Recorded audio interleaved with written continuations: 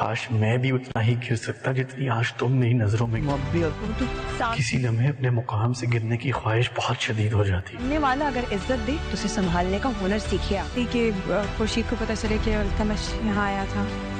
आपको भी खुर्शीद के साथ बिल्कुल अच्छी नहीं लगती ना। कहीं तो जगह छोड़ अल्तमश अपनी धमकी पर अमली जामा पहना देगा। वो मेहर अली खान पर दबाव डालने के लिए रुतबा और अपनी वो तस्वीर उसे भेज देगा, जो वो रुतबा के घर जानबूझकर खिंचवा कर लाया था। अपने लिए, ताकि वो आइंदा आने वाले दिनों में उसे इस्तेमाल कर सके। एक तरफ़ तो रुतबा को वो अपनी मोहब्बत का यकीन दिला रहा है तो दूसरी तरफ़ रुतबा और अपनी तस्वीरें मेहर अली खान को देकर रुतबा की इज़्ज़त को मिट्टी में मिला रहा है।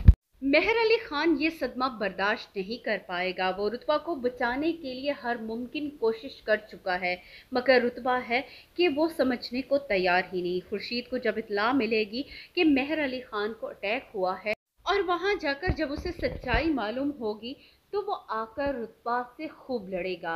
और उससे कहेगा कि, काश वो भी अपने मकाम से गिर सकता, जिस तरह आज रुतबा उसकी नज़र से गिर चुकी है। वो छुप छुप कर अल्तमश से मिलती है और ये बात उसने छुपाई है।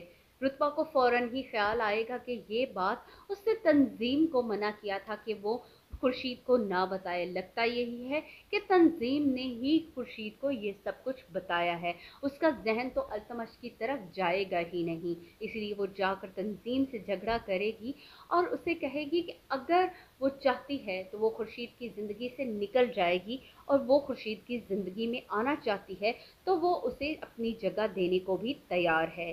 लेकिन आगे से तंजीम उस पर ही बरस पड़ेगी कि किसी को इज़्ज़त दी जाए तो उसे संभालनी आनी चाहिए। तमश अपनी चाल में कामयाब हो जाएगा और खुर्शीद और रुतबा के दरमियान गलत फहमियाँ पैदा होना शुरू हो जाएँगी।